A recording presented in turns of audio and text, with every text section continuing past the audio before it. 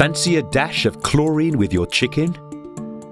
How about a side of experimental GM veggies? What about chemicals in food that can damage the development of our children? If big business has its way, these items would be on your plate right now. What stopped them so far are our regulations. And these regulations are under attack from the Transatlantic Trade and Investment Partnership, or TTIP, the dirtiest trade deal in Europe's history.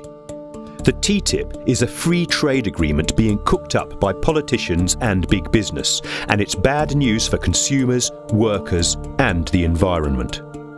Negotiations are being held in secret, and all we know is what we've learnt from leaks.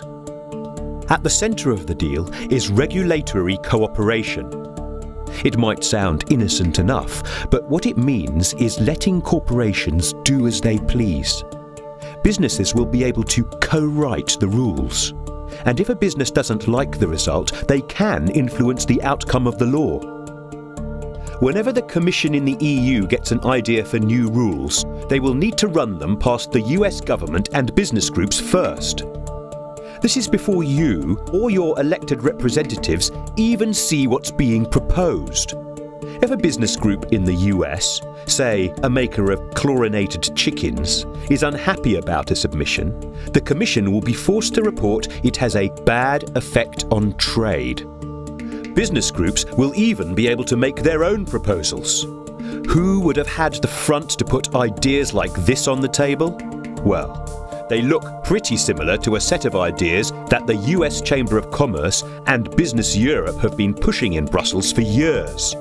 They are even planning to create a brand new body to make sure business gets its way. It will be called the Regulatory Cooperation Council. Their main priority is to protect trade. Regulatory cooperation puts profit before people and undermines key democratic principles.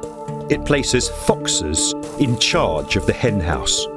A henhouse full of chlorinated chickens.